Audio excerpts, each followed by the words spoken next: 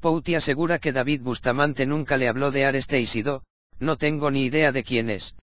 El coreógrafo asegura que no sabe quién es Aresteisido y que David Bustamante nunca le habló de ella a pesar de que parecían la pandilla de amigos más maravillosa del mundo.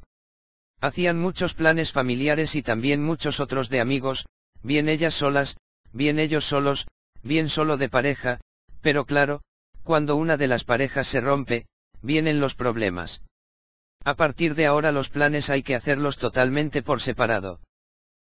No obstante, el divorcio de Paula Echevarría y David Bustamante no ha provocado ninguna grieta en su amistad con Isabel Navarro y Pouti Castillo.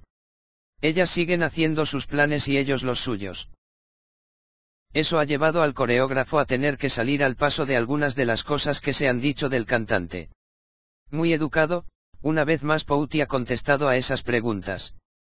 Esta vez ha sido en relación a Aresteisido y la entrevista que dio hace unos días para una publicación en la que contaba todos los pormenores de la relación de varios meses que mantuvieron a pesar de los mil y un desmentidos.